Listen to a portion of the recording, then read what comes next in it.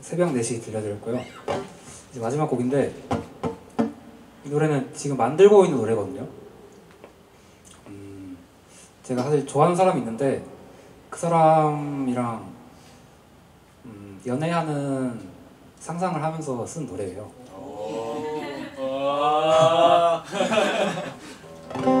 제목은 피날레라고 하는 제목의 노래인데요.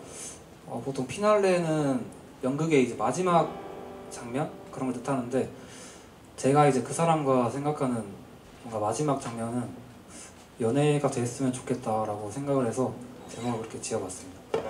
아직 1절밖에 없지만 그래도 이 노래 들려드리고 저는 이만 인사드리겠습니다. 네, 지금까지 봐주셔서 정말 감사드리고요. 저는 지금까지 음악하는 싱어송라이터 찬찬이 운전이 찬원이었습니다. 감사합니다. Thank you.